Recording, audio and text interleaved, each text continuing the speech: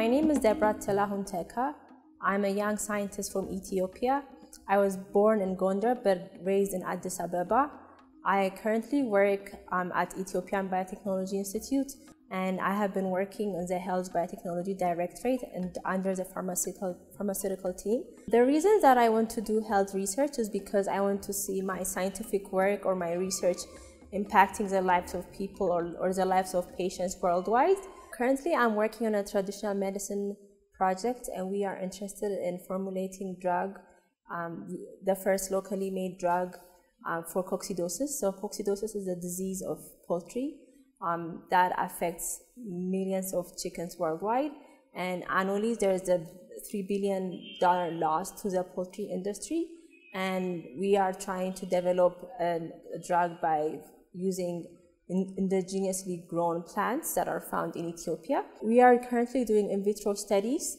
Uh, and the goal of the in vitro study is to study the efficacy of the plant extract.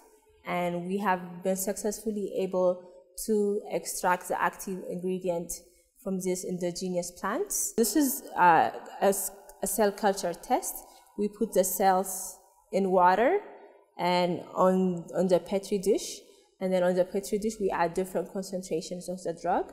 And after we add the concentrations of the drug, we, we wait for 72 hours, different time points, and we see the, uh, form, the formation of oocysts. Uh, when there is no drug, then there is a lot of oocysts. But when there's a drug, there is less oocysts, meaning um, the drug has inhibited the growth of the protozoa or the disease-causing organism. Our discovery in the long run, we are planning to come up with new ways or formulations of the drug that can be provided to the farmers on the field. This is a better alternative because first of all, it's locally made. Second of all, it's cheaper. And third of all, it saves dollar from import of the drug and it will be available to the farmers in the field.